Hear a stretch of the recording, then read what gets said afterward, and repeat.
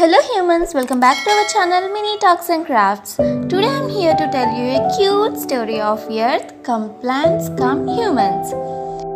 A long long time ago, around 4.6 billion years, baby Earth was born. It was all alone for some time. As time was passing on, it has got some new friends, that is, the trees.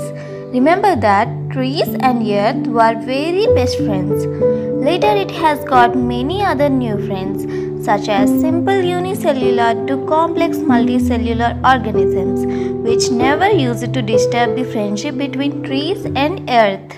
Next, humans evolved who were very friendly at first, but with time they got greedy and started breaking friendship between trees and earth.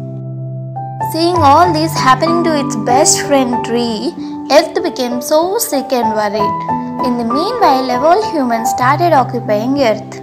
Now, Earth came to know the whole truth about the humans and started taking revenge against them. So, let's give back trees' friendship again to Earth by planting them so that Earth will forgive and save us.